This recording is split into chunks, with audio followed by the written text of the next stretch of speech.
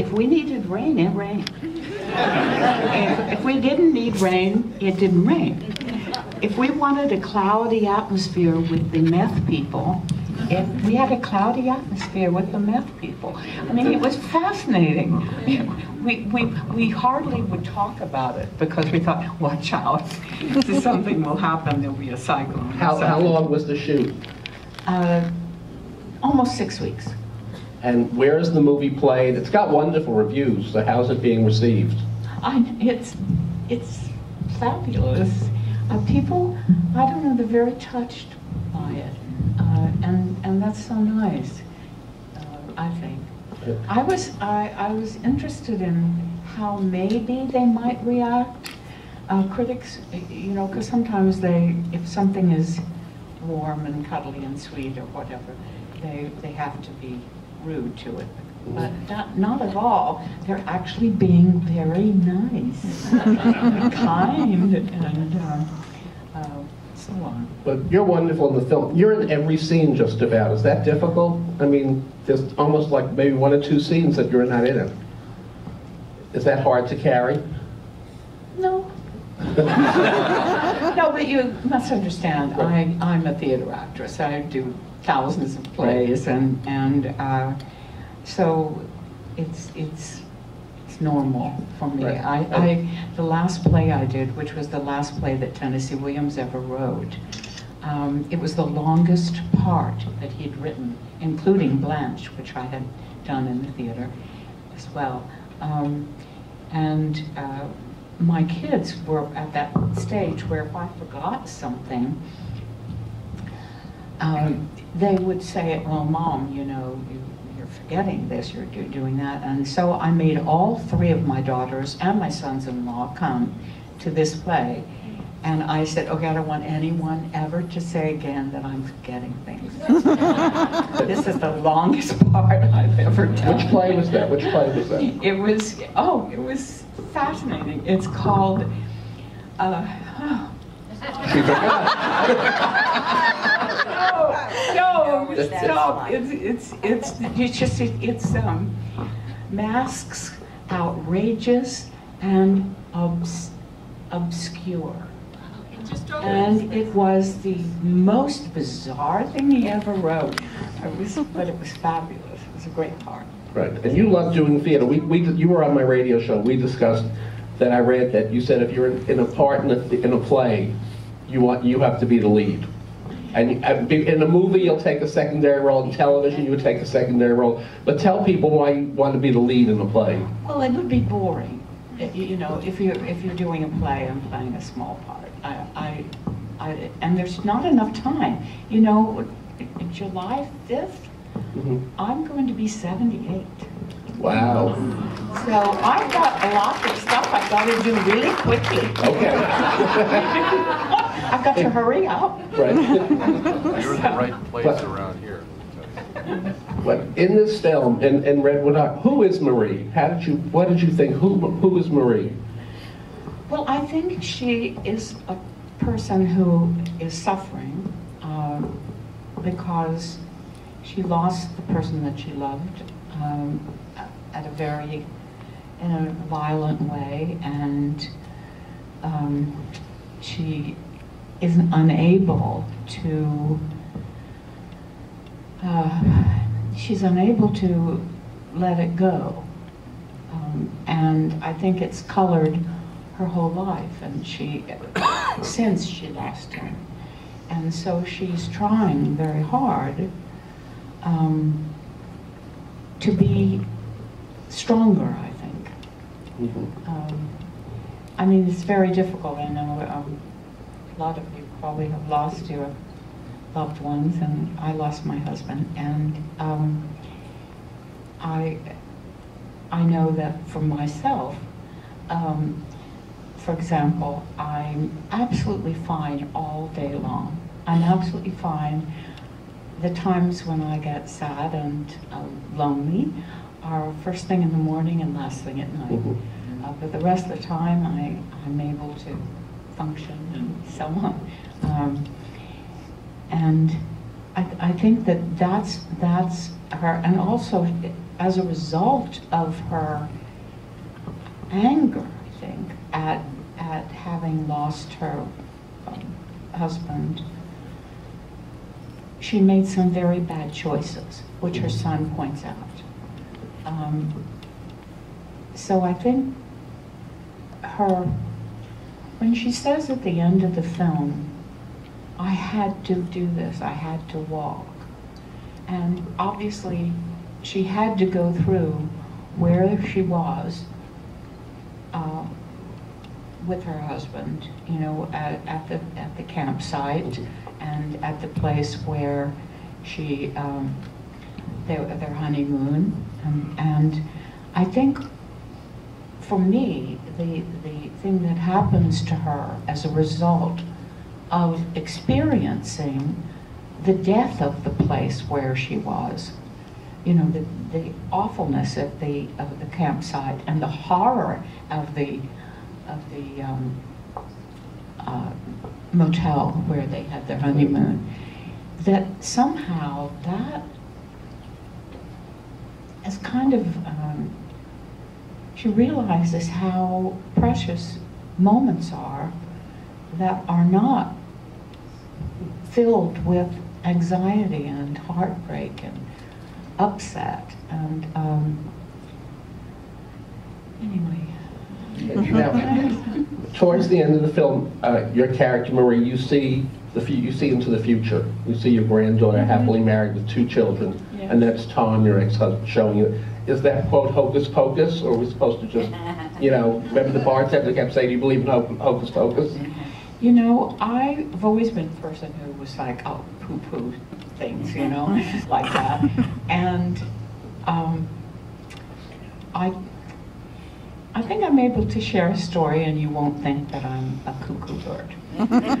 um, two nights before my husband died, there was a bird in our front garden singing in the middle of the night. It was like one in the morning and woke us up. And he, and John said, um, my husband was British. Um, John said, "Gosh, that, that sounds like a nightingale." And we were living in California at that time. I said, "I don't think they have many nightingales here." Uh, so that happened one, two nights before he died, and then it happened the night before he died. And then the day that he died, that night, um, we were all sitting in, the living room, and the bird starts singing again. It's like the third night. And I said, you know, that's so interesting because the past two nights, um, that bird has been singing in the middle of the night. And uh, so we all went outside and we couldn't find the bird anywhere. And um, my daughter, my youngest daughter, Sophie, said, Mom, let's record that. And she got out a tape recorder and um, she said, birds singing. And um, that was it. And the next morning, I pushed the button to play it, and she said, bird singing, and there was no bird singing. It was blank, it was nothing. And so that night, again, the bird was singing. And I said, Sophie, you know, it didn't work. Uh, it didn't record. I heard you say bird singing, but that was it. She said, oh, you must have done something. So she did it again, and again the next morning, uh, there, the bird was not singing. So, and then the next night, uh, it, it, he was gone. It was gone. So two nights before my husband died, the night he died, and two nights after. Now, I don't know what that was about. Um, but there are people who would say, well, um, that is someone coming for him or whatever, whatever, whatever. So, um, I mean, it's, it's, uh, I don't know. Well, I believe in all of that. Yeah, somebody was visiting. I, I think if things, if something exists, it exists. You know, there's some reason why we have all kinds of Right. stuff happen. Well, let's go back. You were born in Kansas. I was and- born in Kansas. And you yes. wanted to be an opera singer. That's correct. So what happened? Well, what happened is, um, I, I probably am one of the people um, that was raised in the smallest town on the planet. Um, uh, we lived in uh, a town of 13 houses. Uh, we had um, a two-room schoolhouse. I, when I went to first grade, it was only me and Donnie Ray Hall. and, um, um, Mrs. Rhodes taught one through four, and Mr. Rhodes taught five through eight. it's a small uh, community of, of uh, wheat farming, mostly. Um, and of course, this is before television, and our, uh, I only saw three movies as a child uh, until I went to high school because we were like 20 miles away from a town that had a movie theater. So we were taken to see as a special treat Bambi and Wizard of Oz and a movie my mom wanted to see with Betty Grable and June Haver, which I loved. It was a musical and it was about um, um, um, vaudeville performers and they sang and they danced and most of all they wore extraordinarily beautiful clothes that I'd never seen anything like it before. And I begged my mother to buy the paper dolls. They used to make paper dolls out of all those movies. and anyway, I, I mentioned that because life is very fascinating to me sometimes. And when I did the film Sweet Bird of Youth, I was told by Richard Brooks, the director, to go and see the costumer. And it, I went to see the costumer, and it was Orry-Kelly. And I knew who he was because on the back of the paper dolls, it said costumes by Orry-Kelly. Now, I couldn't have cared less to meet Paul Newman and everybody else in the but to meet this man who made those clothes. So I said, of course, like an idiot, I said, "Oh, oh, Mr. Kelly, I, I, uh, I had the paper dolls, blah blah blah, you know." And he sort of patted me on the head, and he said, "He said," and he had this accent. I think it was Hungarian, and he said, "Well, you're going to be very happy." Because I'm going to make you a white dress out of handkerchiefs, which he did. And you were nominated for an Academy Award in that movie. I was, yes. Yeah.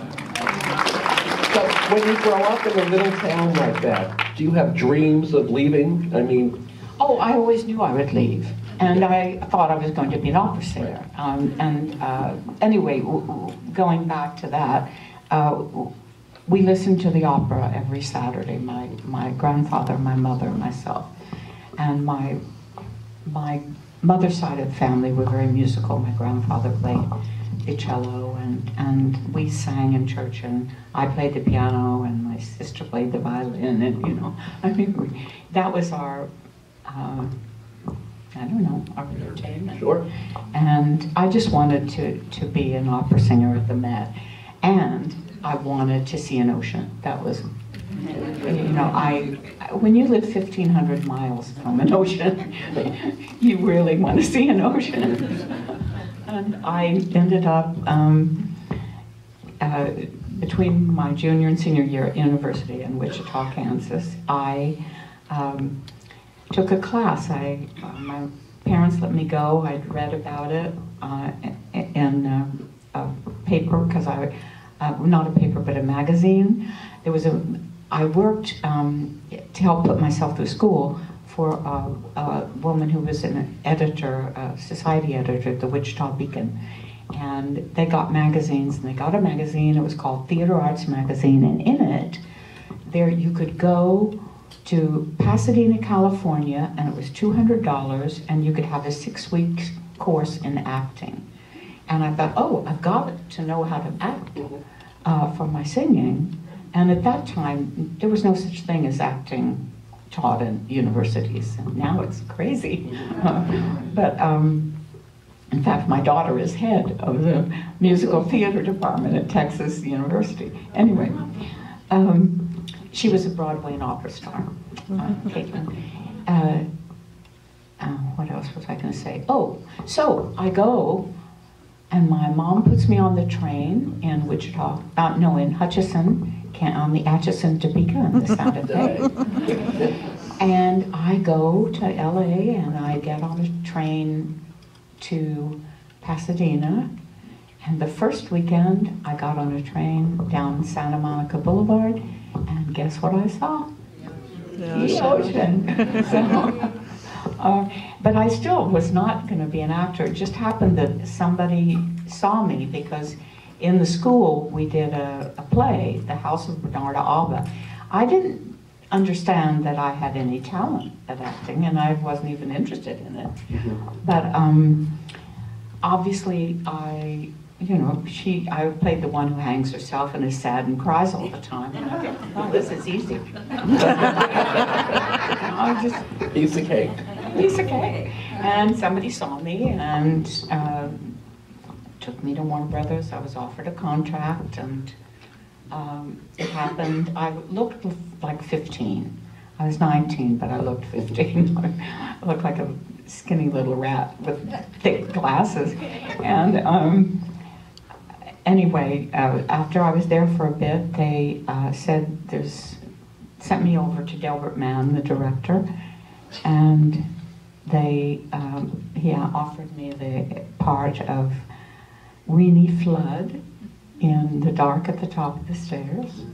And I was nominated for an Oscar. that was my first. And that was your, big- that was your big break, right? That was my big break, Yeah. yes. And um, I was laughing but the other day because um, they did the the um, people who do the Golden Globes, the, for, the, The foreign press. the foreign press. Um, there was a photograph someone found of me online. You know how they find all these ancient things from 1958, and it was me and Bob Hope uh, at the Deb Star Ball, which they stopped doing. They only did it for a little bit, and and um, they you. I was the Deb Star for Warner Brothers, and Yvette Mimieux was the Deb Star for. Uh, um, uh, no, uh, MGM.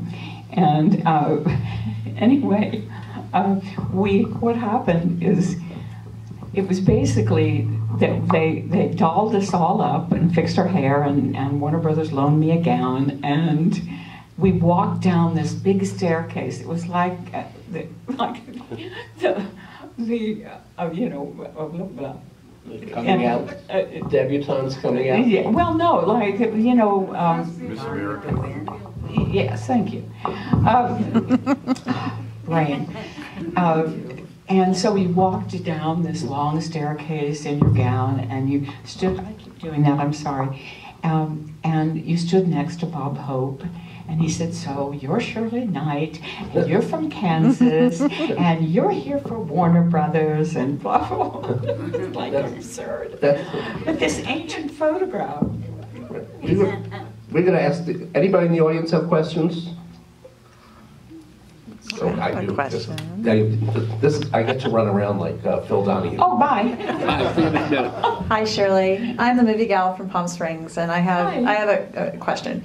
Well, it's two part. First of all, have you ever thought of writing an autobiography? Because I think you have a wonderful story. and I think a lot of people would like to read about your life. You know, my children are keep saying that, and I'm like, oh, no, no, no, no. But I am doing something really silly. I am doing a one woman show about my life. And I'm singing like a couple of opera things, and I'm uh, I am having a wheel, kind of like a wheel of fortune, and I'm putting uh, all these things that I'm going to talk about on it, like whether it's Richard Burton or you know whoever, and people I've worked with, and funny stuff.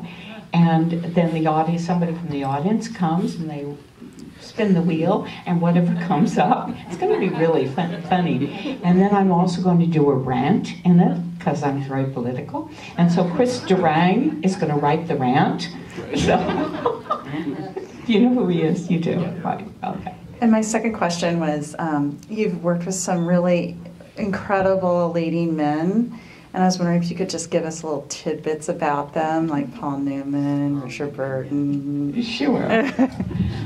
well, first of all, Richard, um, Richard Burton, we did this terrible movie together. It was called Ice Palace, and it was written by Edna Ferber. And she obviously was not a fool, because when she sold um, Giant to Warner Brothers, she said, "Oh, you you have to buy my new book, uh, Ice Palace."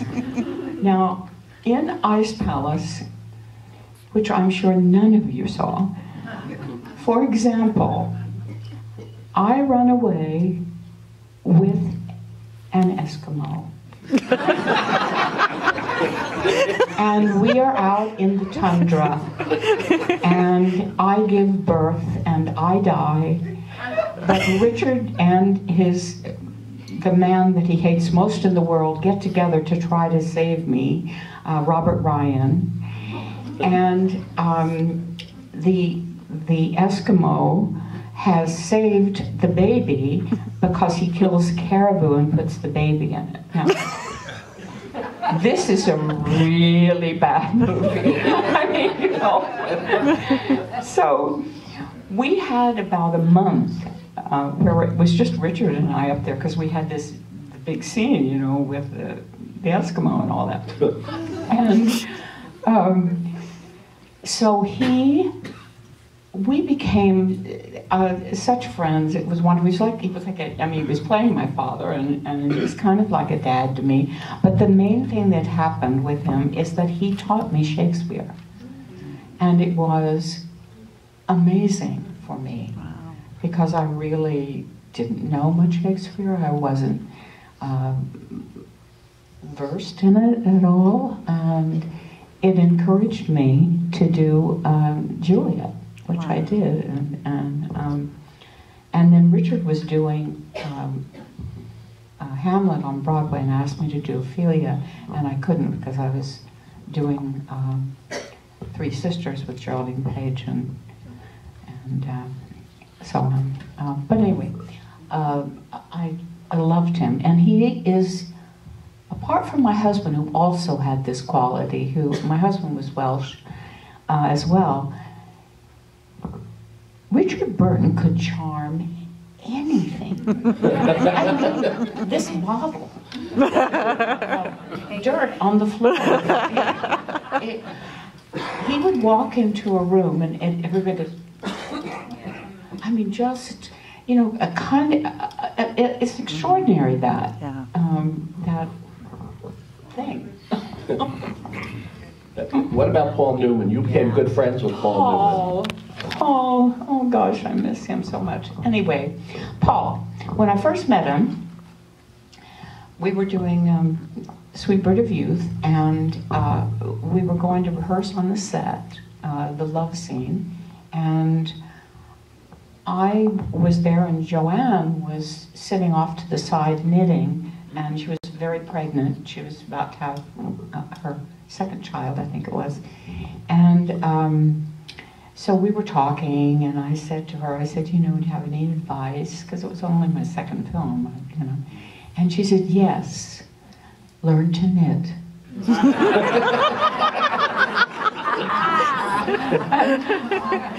and, you know, it sounds silly, but boy, is it good advice. because you sit around a lot. You know, I have, I crochet, I'm not good at knitting. I crochet and I can't tell you how many Afghans I've made for people, or scarves. um, anyway, so Paul comes up and introduces himself, and he says, Shirley, listen, you know, we have to work on this love scene, so I think what we should do is go back there behind the, the uh, curtains over there and smooch a bit and get to know each other. I turned scarlet. I was like, what? and Joanne says, Paul, Shirley doesn't know you very well. it's fabulous. And you became good friends, right? You stay friends? Very, very good friends. We lived near each other in Connecticut. And, yeah. That's great. Who else has a question? Oh, Okay, right up here. I'll come back here. What actually did happen to your singing career, and did you ever apply that singing in any of your roles? You know, not really. I uh, the only thing I've done, uh, I've done a few um, concerts, um, and that's been fun. But you know, the thing about singing is that it's not like acting. You really have to work your instrument every day, and so it, it, it's it, it, it's hard. You know. However, my middle daughter. Uh, did an opera at, at, in Paris and also at the Lincoln Center. So it's kind of amazing. And also, she's a, you know, uh, Caitlin is a mezzo and I'm a light soprano, and frankly, light sopranos are a dime a dozen. and when I first, when I was at that early stage when I was in, came to California, um, Maria Callas was giving a concert, and I went, and I sat there. Um, and although in Kansas I was really important with my singing, and I won, you know, those state contest things and all that, I looked at her and I said, I will never be that good, never. And I kind of consciously said, whatever I do, um, I thought, I mean, I also like to write, so thought about that. But whatever I do, I know one thing. I want to be really, really, really good at it. And so I kind of, kind of gave it up. We have a question over here. Yes, uh, I'd like to know what your favorite role was and what director you liked the most, and maybe the one who was the hardest on you. And I have to tell you, I grew up in Hutchinson, Kansas. Oh my God! That's like 30 miles from me. Oh, I know. You know, I went to high school in Lyons, so Oh my know- gosh. Yeah. Well, I got out of there and got to New York. Score. oh my goodness. Fabulous. So favorite director? There's a couple. Uh, the, my favorite director in terms of theater is Lucian Pintilie. He's a Romanian, um, and he had to leave Romania when the Ceausescu's were being doing their horror, and um, we did the Cherry Orchard together at the Arena stage, and I have never worked with someone um, that was so inventive and just little bitty things like for example in the first act when uh, i say I, I think i see my mother in the orchard and chekhov says that i go outside that she goes outside and then she comes back in and she says it was nothing well what he did with that moment just that little moment is I run out and I say, Mama, Mama. And he had prepared two barrels of cherry blossoms. And I grabbed one in each hand and came back on stage and I was wearing this beautiful sort of pink uh, gown, not but not uh, for bed, you know. Um, and I came back in and I opened my arms in that huge arena stage. I opened my arms and said, It wasn't her, it was nothing. And those cherry blossoms went all over this huge uh, arena stage. And years later, I was doing uh, an event, uh, Eve Ensler and I were doing an event with uh, Hillary Clinton, and she was with this senator, and he said, excuse me, but aren't you the woman with the cherry orchard? I said, yes. And he said, if I live to be a hundred, I will never forget the cherry blossoms. And I thought, oh, gosh, you know, it's. We did one of the um, disaster films together, Juggernaut, which which is memorable to me because I wore the most gorgeous white silk gown. So, Right. Any directors you would not want to work with again? Well, there was one at Warner's, um, and he was just mean, and you know he wasn't any good either. That's that's why he was mean. Who else has a question? Hey, you you got it, kid. I, I loved your performance. It, it kind of reminded me of uh, Geraldine Page in Return to Bountiful. And did you gather any inspiration from that performance for this movie?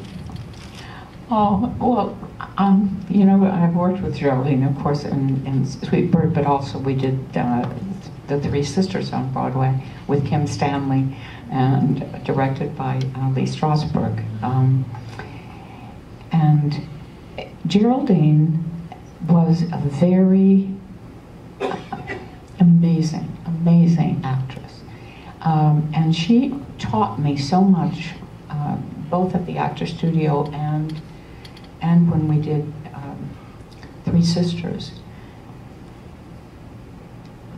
One night, I, we'd done a matinee, and that night I fell into, I was young and not um, as clever as I am now. And um, I, I, um, that evening, I fell into the trap of trying to do what I'd done in the afternoon because it was good. And I, then I went on, it was awful, and, and I tried to copy it. I mean, it was very good, and I tried to copy it, which made it awful. And uh, I went off stage and I was crying because I was so upset with myself.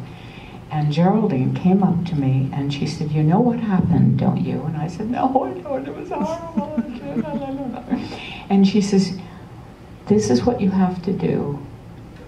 You have to always remember that everything that is in your heart and your soul and everything about you is always available. And you don't have to work for it because it's already there.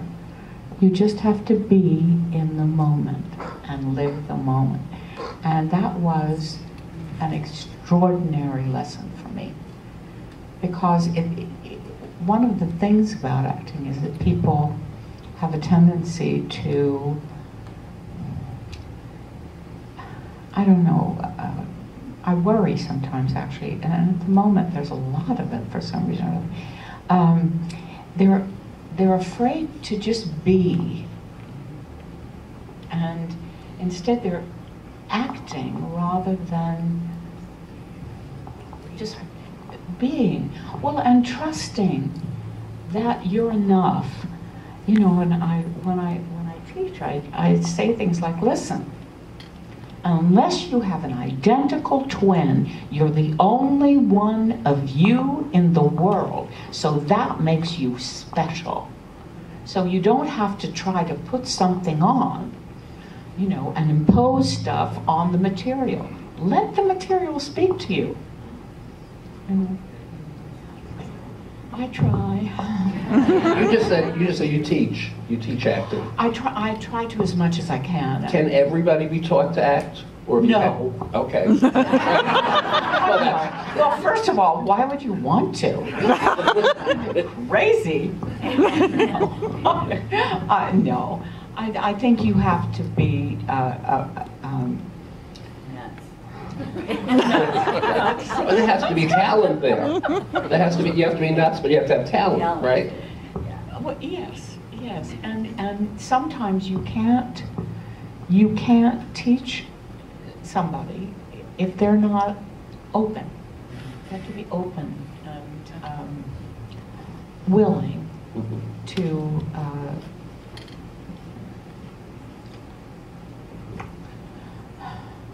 willing to just open their heart and soul and everything, and not be ashamed. Because a lot of acting is arrogance. You, you know, it's a lot of acting is is uh, I can do that. Whatever it is, okay, I can do it. Um, and and uh, it's it's what at least Strasberg used to call the shuns, which is that to get to the last, first you have to be you have to have relaxation, and then you have to have concentration, and then you have to have imagination, and then you have to have inspiration. But you, though, that's the steps to get there. Was, was there a day when you first started acting that, that something happened, you said, I can do this, I'm an actress? I think it was a bit later. I mean, in the beginning, I, I, I don't think I was even cognizant of being talented. Um, because I just simply was reacting, I guess, the way a child would, because I hadn't been trained. Um, and then finally, uh, somebody told me that I should go and study with um, Jeff Corey. Um, and this is 1959. And in our acting class, because some of you are older, so you understand this, in our acting class, we was in Jeff Corey's garage, and Jeff Corey was a wonderful actor who had been blacklisted and couldn't work anymore. Uh, but in the class was Jack Nicholson, Robert Blake, Bobby Driscoll, Dean Stockwell, Millie Perkins, me, um, a couple of others. I mean, it was extraordinary. amazing. Yeah, I know. And they, we were nobodies at that point, you know. Who do you watch today? We've been talking about Richard Burton and all the great talents you work with. Who are the young people you see coming up that you say, you know, they're really good actors or actresses? You know, I like the the, the blonde girl. Um, They're all blind girls. Who? Michelle Pfeiffer. thank you, Jennifer Lawrence. Jennifer. She's got the goods. Yeah. You know, she's got the goods. Any actors? Tom Hanks? People like that? What did she do? Jennifer Lawrence? No. Yeah, one woman show is going to be great. I'm sorry. Okay. Anybody else have a question? Let me come back here.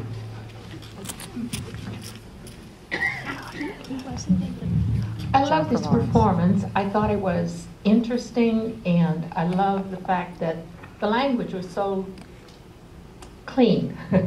What do you think about the raunchiness that a lot of the films are, seem to be heading these days?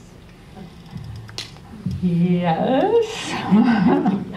I mean, I, I don't understand uh, the pornography aspect, you know. I, I wish that, that I hadn't watched A Wolf of Wall Street because it, I have an image in my head that I would rather not have.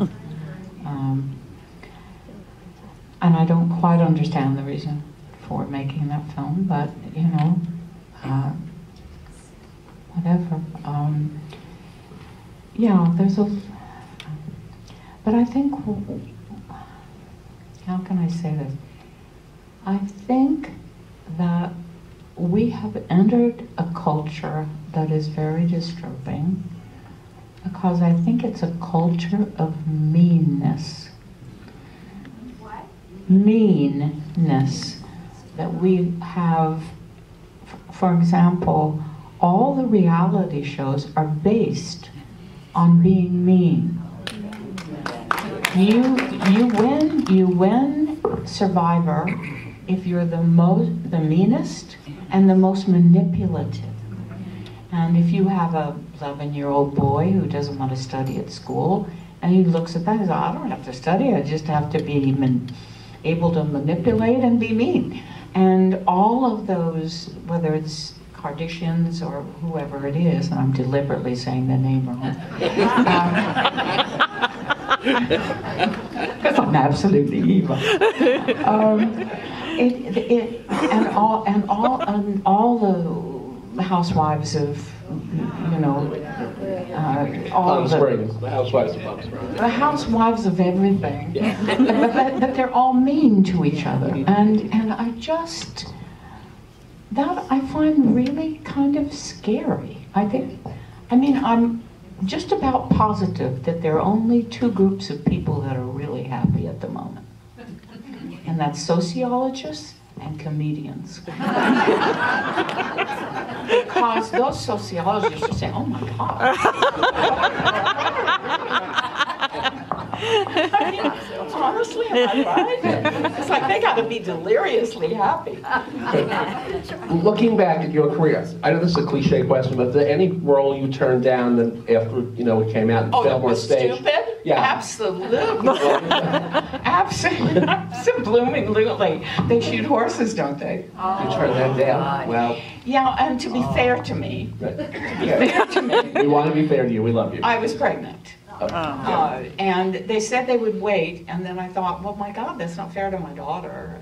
You know, I got to hang around a couple of weeks. Um, so I turned that down.